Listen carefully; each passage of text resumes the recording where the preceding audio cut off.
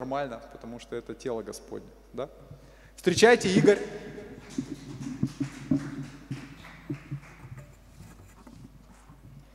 Я из города Ровно, передаю вам приветствие. Это на западе Украины.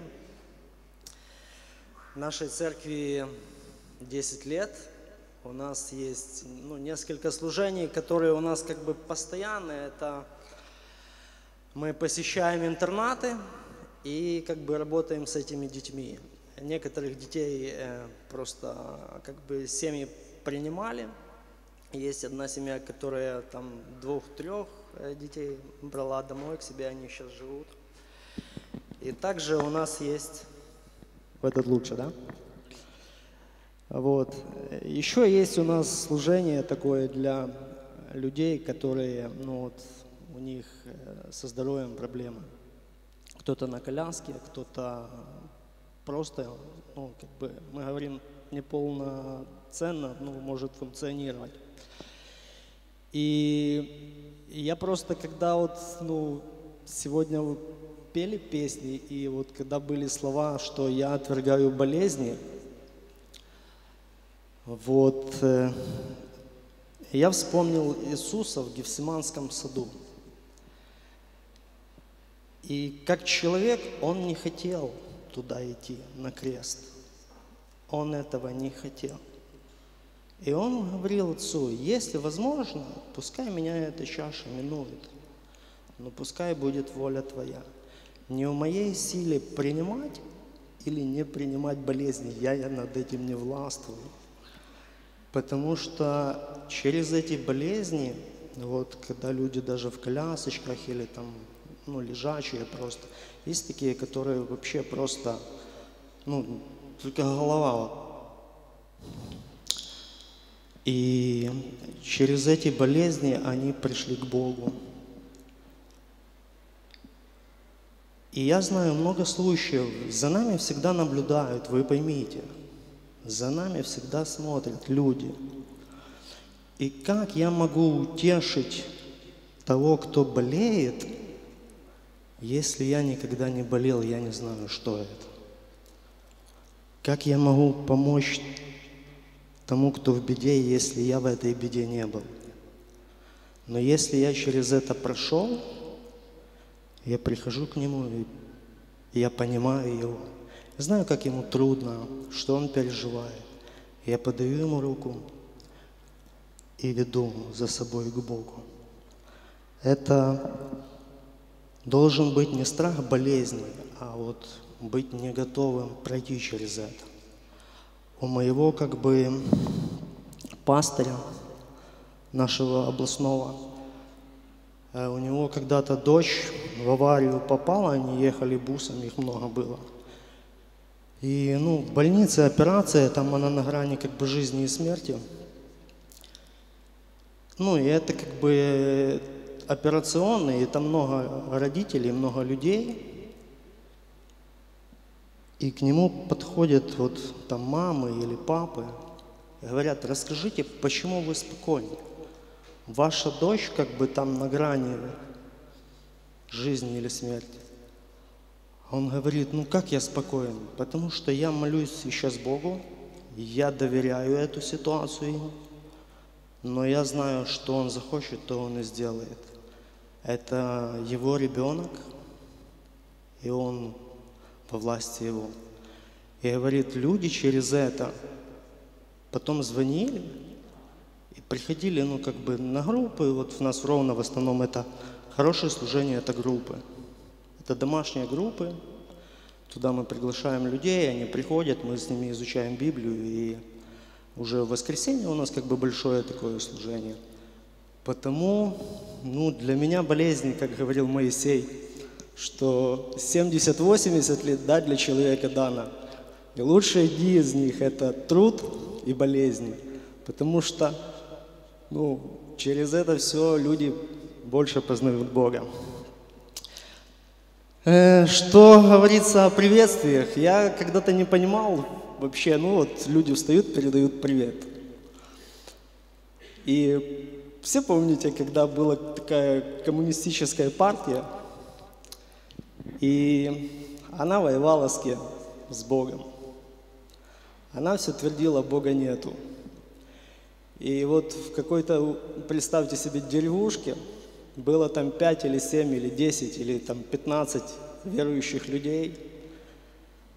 И к ним приходил кто-то из органов и говорил, вы сумасшедшие верующие, вас тут пять человек, посмотрите, больше нигде нету таких, как вы. Зачем вам это? Все знают, что Бога нету. Прекращайте. И когда, представьте себе, приезжал кто-то из другого селения и говорил, вам привет от той церкви, это было ободрение, мы не одни такие сумасшедшие верующие.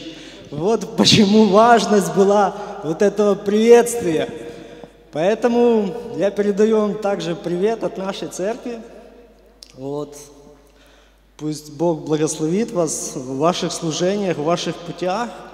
И пускай вот, ну, людей, людей додает, да, потому что мы здесь для чего? Чтобы Царство Божие ширилось. И, ну, если даже говорить, там, я слышал, там кто-то поехал на бизнес-тренинги, там сейчас вот это модно. Я думаю, это просто побочный эффект. От чего? От пустоты. Потому что, э, как проверить себя? Отключите телефон, уберите интернет, не звоните друзьям и откажитесь от кофе, там, от ваших дел. Вы просто за один день посмотрите, насколько вы пусты.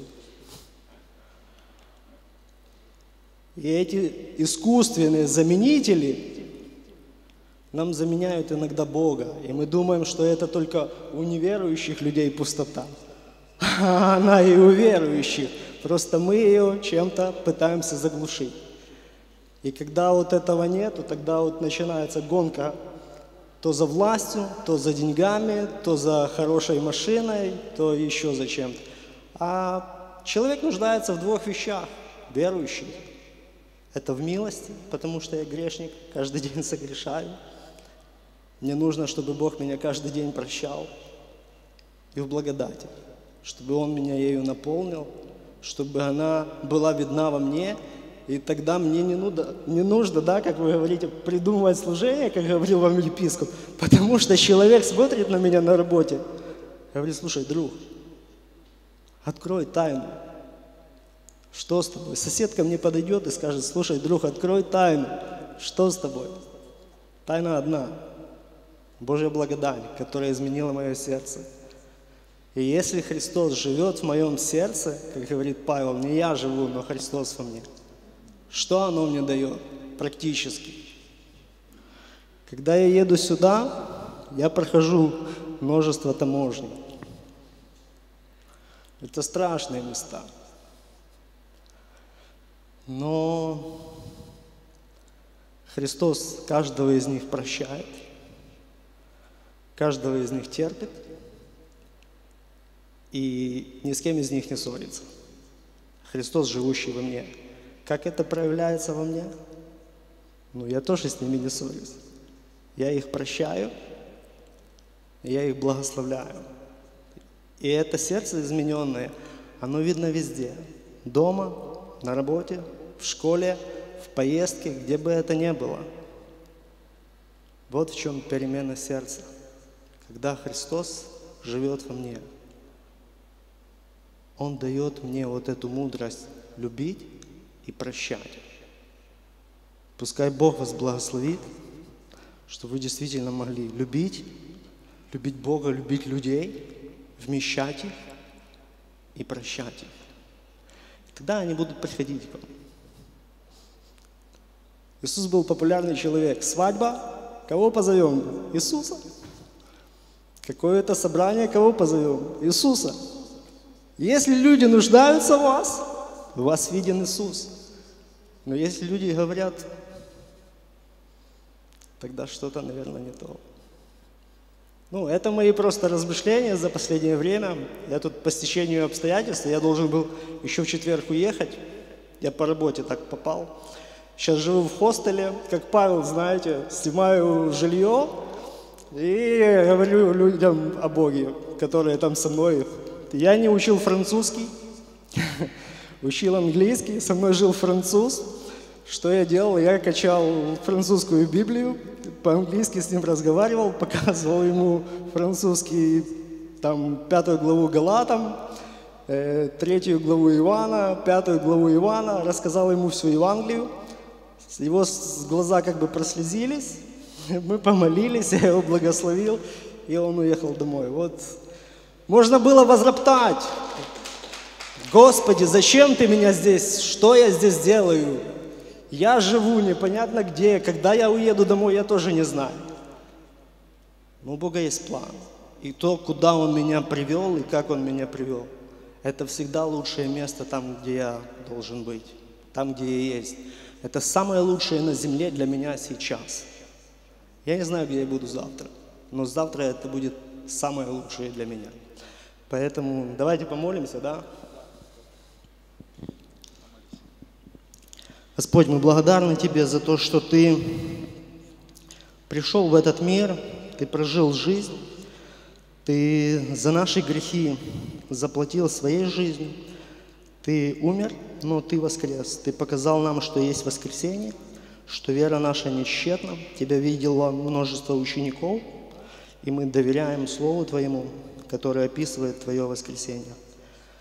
Мы, Господи, благодарны Тебе, что во всем мире есть дети Твои, есть церковь Твоя. Куда бы мы ни приехали, мы можем встретить родных нам людей, тех, которые веруют в Тебя, наши братья и сестры, Боже, мы благодарны Тебе. Я благодарю Тебя за эту церковь, и я прошу Тебя, восполняй все их нужды, я прошу Тебя, добавляй людей к этой церкви, Дай церкви мудрости принимать людей, Боже, ухаживать за ними, помогать в нуждах этих людей, Боже. И пусть в этом всем будет, Боже, видна Твоя рука, милость Твоя, Твоя благодать и Твоя сила. Аминь. Да, я думаю, что давайте помолимся еще за Игоря, за его дорогу, Боже. Ну, хотел сказать. Ну ладно. Давайте, Господь, мы благодарим Тебя за Игоря, Господь, мы благодарим Тебя за его привет от церкви из Ровно, Господь. Я знаю, что Твой народ, избранный народ, он вне границ, вне наций, вне языков, Боже. Это Твой народ, святой народ, Господь. Я просто превозношу Тебя, Игоря, Отец, и его путешествие, Боже, сюда его путешествие обратно, Господь, чтобы Ты излил свою благодать и милость, Господь, изобильно излил, Боже, чтобы его путь, он был, а, правда, под Твоим покровом, под Твоей сенью, Боже, чтобы Ты а, всяческие обстоятельства, Боже, сделал таким образом, чтобы он а, не просто так скатался, а и выполнил Твой план, Господь. Я просто провозглашаю в его жизни Евангелие, Господь, чтобы он мог это Евангелие передавать другим людям еще больше и больше, чтобы много встреч у него было, чтобы много людей покаялись через него, Боже, чтобы его жизнь была наполнена Твоей милостью. Излей просто на него, правда, и достаток тоже, Господь, чтобы он ни в чем не нуждался, и он, и его друзья, и его церковь, его семья, Господь. И благослови, пожалуйста, церковь, из которой он приехал, Отец. Я надеюсь, что мы с ним увидимся, Господь, и они будут к нам приезжать сюда просто. И просто благослови, благослови своим святым духом, чтобы мы могли вместе с ними делать Твою работу, Боже, Твою волю вершить на этой земле, не свою, но Твою, Господь, во имя Иисуса Христа. И все общество сказало Аминь. Спасибо.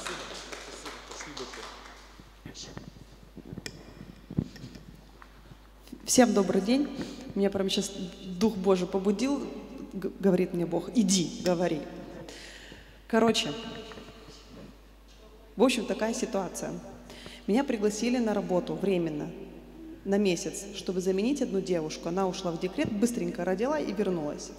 Я когда пришла на, эту, на это место на рабочее, я занималась продажами через интернет, э, осуществляла переписку с, э, с покупателями и осуществляла также отправку товара вообще по всему миру. В общем, когда я пришла туда, я, я сказала, что, Господи, я хочу быть благословением в этом месте. Я хочу, чтобы Ты явил свою славу в этом месте. А, компания занимается производством штампов по работе с кожей.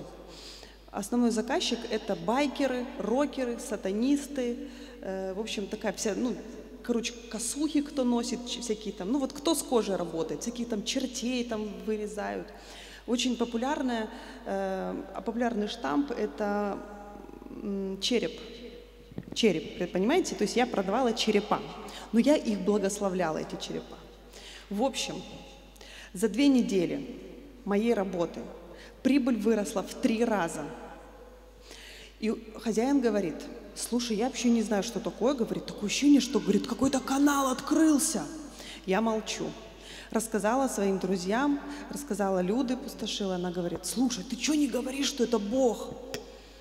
Я говорю, точно скажу. В следующий раз он опять мне говорит, я не могу понять, что такое, говорит, столько денег, говорит, столько, говорит, заказов. И он еще заказывает машинку из Китая, чтобы привезли, чтобы еще больше осуществлять этих э, э, штампов. И тут я говорю, да это я вам благословение принесла. Я же молюсь. С утра до вечера я же молюсь. Да ладно, ты просто в Фейсбуке отвечаешь правильно, все нормально. В общем, я проработала месяц. Мне заплатили нереальную сумму, просто. И пришла эта девочка, и она говорит, у нас такого вообще никогда не было. Она вышла с декрета, как бы, у нас такого вообще никогда не было. Почему так произошло? А она, я пыталась ей подарить молитву покаяния, она атеистка, она биолог, и, в общем, она отвергла. В общем, первый день я не выхожу на работу, она приступила к работе. Представляете, вообще нет практически заказов.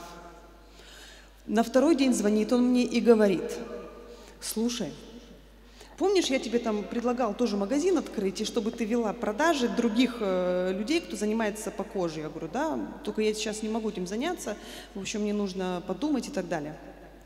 Он говорит, слушай, я не знаю, что у тебя там, то ли у тебя денежное дерево дома стоит, то ли ты, говорит, эту лягушку китайскую гладишь, или этого мужика пузатого китайского гладишь. Я не знаю, ну у тебя талант. Ты не должна его терять, этот талант. Я говорю, да это не талант, это Бог. Прям так по телефону ему говорю, это Бог, я вам серьезно говорю. Он такой, ну ладно тебе все. В общем, он мне предлагает, у меня говорит, я не могу с этой вот девочкой расстаться, потому что у меня с ней общий бизнес, который ты заменяла. Но я хочу предложить тебе вести другой магазин на другой торговой площадке, пожалуйста. Я говорю, подождите, подождите, я это, ну, мне надо подумать, и вообще у меня есть свои цели и так далее. Так вот, что я хочу сказать. В нас Дух Божий. Мы в Боге, Бог в нас. Мы являемся благословением в этом мире. Мы не просящие, мы дающие. Это основная наша с вами миссия. Люди, я призываю вас. Братья и сестры, я призываю вас просто принять эту истину, что мы являемся дающие. И мы благословение в этом мире. Мы способны людям нести свет. Реально, мы не только приходим сюда, чтобы наполниться, чтобы пережить кайф тут такой в присутствии Бога и все, и уйти. Мы должны это ощущение тепла, мира нести в мир. Каждый день, когда мы просыпаемся, мы должны четко понимать, что наша миссия не просто прожить счастливо, успешно, быть здоровыми. Наша миссия – нести этот свет в мир. Вот на сердце такое. Я тоже хочу засвидетельствовать.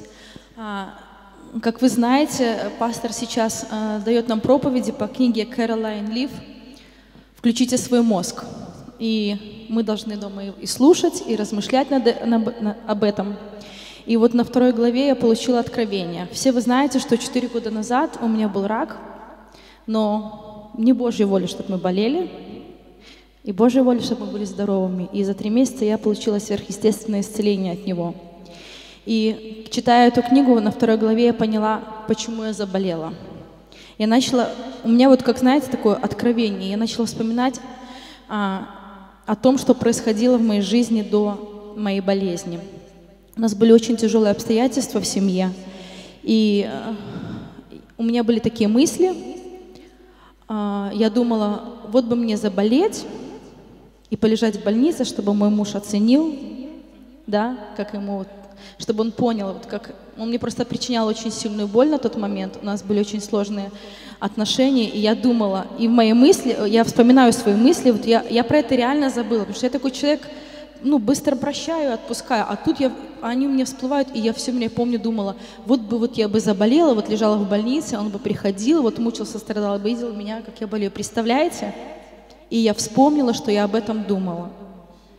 И я говорю, Господь, спасибо, что Ты мне это открыл, и что мы сейчас проходим вот эту вот книгу, да, как важно вот эти токсические мысли, которые у нас есть, просто проходить эту детоксикацию и впускать э, в наш разум Божьи мысли и Божью волю, потому что Божья воля, чтобы мы были здоровы. Да, Бог допускает в мою жизнь, Он допустил, я благодарна Богу, что за это время и люди покаялись, да, в больницах они приняли Иисуса Христа, и что именно в этот момент наша семейная жизнь, она изменилась, мы переоценили отношения с друг другом, у нас перестали быть эти ссоры, скандалы, что мы вошли в служение, которое несет благовестие, и Бог допускает, и мы всегда задаем вопрос, для чего?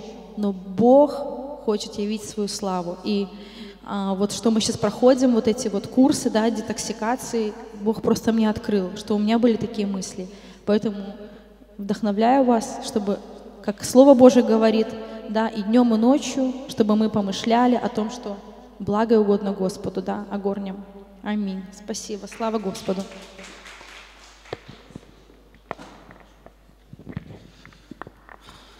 Давайте мы э, Будем уже потихоньку закругляться. Э, настало время помолиться за наши пожертвования.